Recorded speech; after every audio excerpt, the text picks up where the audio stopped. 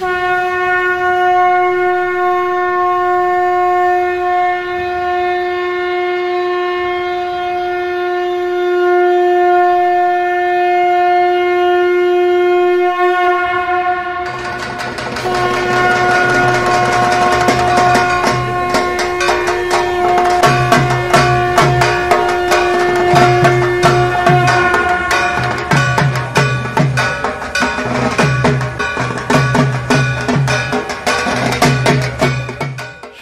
श्रीनाथ जी गुरु जी को अलग आदेश माँ भगवती को अलग आदेश रांची वाले भैरव बाबा को अलग आदेश आप सभी को आदेश आदेश।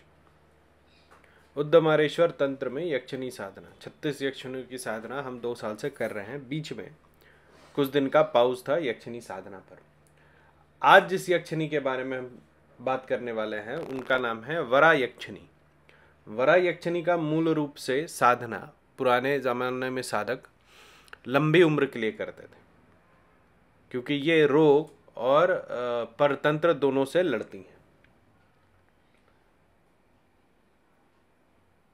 वरा यक्षिणी का जो नाम है वो उद्धमारेश्वर तंत्र में बहुत सारी किताबों में आता है बहुत सारी किताबों में नहीं आता है। उसका कारण है। देखो उद्धमेश्वर तंत्र जो है वो एक किताब नहीं है। जैसे दुर्गा सप्तशती एक किताब नहीं है बहुत जगह से उसको लिया गया है। वैसे ही अ, जो यक्षिणी साधना है, उसको वीरभद्रेश्वर एक तंत्र होता है, ठीक है? थोड़ा सा वो वीरभद्र तंत्र से मिलता है, लेकिन उससे थोड़ा अलग होता है, ठीक है? तो उस साधना से इसको लिया गया है, और उसमें भी जो करक करण किनी तंत्र है और वत्सायन तंत्र है, जिसका नाम आप लोग जानते ही होंगे तो इन दोनों का भी कुछ भाग है। तो उसमें क्या होता है कि जो यक्षिणियों का नाम है और जो संख्या है वो अंतर हो जाता है, ठीक है? इसमें फिर दो विभाजन बना, एक था उद्दिच तंत्र का और एक था उद्दमारा तंत्र का। उद्दिच जो है, वो भैरव महाराज का एक स्वरूप है, ठीक है? जिनको भग, भगवती गौरी, ठीक है? और महादेव या फिर ईश्वर का पुत्र माना जाता है। ईश्वर और गौरी के पुत्र माने जाते हैं उद्दिच भैरव।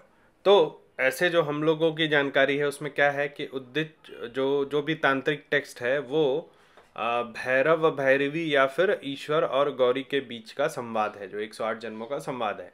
लेकिन जब आप इस तंत्र को पढ़ेंगे, यक्षिणियों के बारे में जब आप पढ़ते हैं तो आपको पता चलेगा कि बीच बीच में उसमें लिखा हुआ है कि सुनो पुत्र प्रवक्ष्यामी।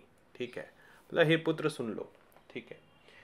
तो उसी में आ, ये एक वरा यक्षिणी की साधना है जो कि हर किताब में नहीं मिलती है जो यक्षिणियों से रिलेटेड है। वरा यक्षिणी के बारे में बहुत कम लिखा गया है।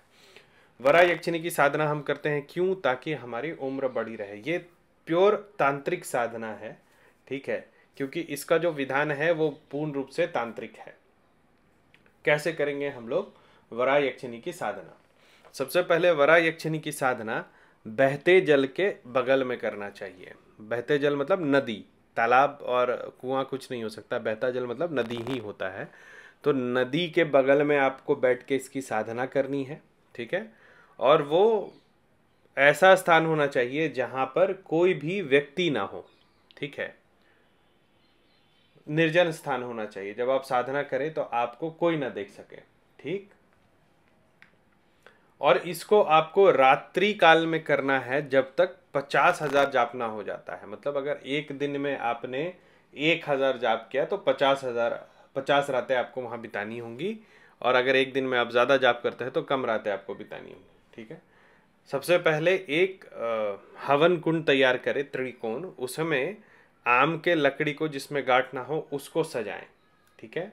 फिर एक बर्तन लें, उसमें घी, ठीक है? चमेली का तेल, अगरू, चमेली का इत्र, गुलाब का इत्र, गुलाब जल मतलब पाँच तरह का गंध मिलाएँ, ठीक है?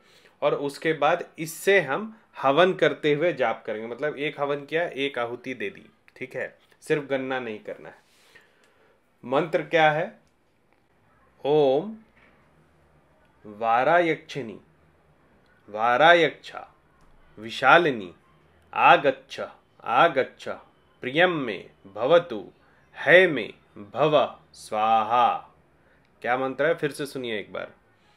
ओम वारायक्षिणी, वारायक्ष, विशालिनी, आगच्छ आगच्छ प्रियम में भवतु है में भव, स्वाहा। एक बार ये साधना आपकी पूरी हो जाएगी तो आपको ऐसा आभास होगा। ये प्रत्यक्षीकरण नहीं देती हैं, क्योंकि वारा यक्षिणी हमेशा अपने यक्ष के साथ रहती है, ठीक है? तो ये दोनों रह के आपके साथ आपकी सुरक्षा करते हैं। सुरक्षा करते हैं किससे? आपकी सुरक्षा करते हैं तंत्र, परतंत्र जैसा भी तंत्र हो, और किसी भी तरीके का असाध्य रोग हो तो उससे भी ये आपकी रक्षा करते हैं। तो लंबी उम्र जिसको चाहिए, वो लोग इस यक्षिणी की साधना करें। थोड़ा सा ट्रेचरस है, लेकिन बहुत लाभकारी साधना है और ऐसा, इस साधना को बहुत सारे साधक करते हैं, ठीक है? जो यक्षिणी साधना करते हैं, उनके पास ये साधना होती है। आज के लिए इतना ही। अभी हर सप्ताह जैसे हम लोग पहले भी यक्षिणी साधना करते थे एक एक यक्षिणियों के बारे में हम डिस्कशन करते थे, अगर करें नहीं तो ज्ञान के लिए, वो करते रहेंगे। अगले बार नटी साधना करेंगे। नटी साधना आपको आर्ट देती है। मतलब किसी भी तरीके का आर्ट अगर आप करना चाहते हैं तो वो नटी साधना आज के लिए इतना ही। जिनको पेड व्हाट्सएप ग्रुप से जुड़ना है, वो मेरे WhatsApp number nine four three one one eight eight five eight five से जुड़े। उसमें आपको पेड व्हाट्सएप ग्रुप का लिंक मिलेगा। इसमें हमारे संप्रदाय में जो गुरु मंत्र होता है, उससे पहले जो आपको मंत्र जानने चाहिए, वो सिखाए जाते हैं। डायरेक्ट बात करने के लिए call me for app download कीजिए। ऐप स्टोर या गूगल प्ले से उसमें Rudranath eight C M four search करेंगे तो आपको मेरा प्रोफ़ाइल मिलेगा। वहाँ से डायरेक्ट बात कर सकते हैं। अपॉइंटमेंट लेने का और तरीका है W W W dot Aghor Tantra dot X Y Z या W W W dot Aghor Tantra dot com यक्षिणी आप लोगों की रक्षा करे, ऐसी मेरी कामना है। आप सभी को आदेश आदेश, अलर्ट आदेश।